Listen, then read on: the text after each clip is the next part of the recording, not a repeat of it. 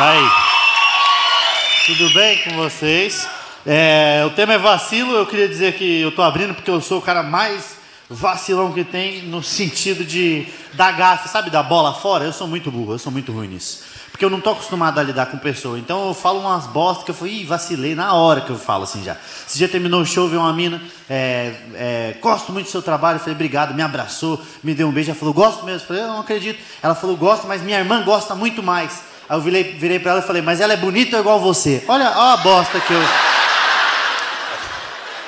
Muito burro, muito burro. Fomos fazer show esses dias, veio uma. Eu fui fazer meu show solo, terça-feira. Uma, uma. Veio uma menina, uns 17, 18 anos, virou pra mim e falou: Olha, deixei de ir na químio pra vir assistir você.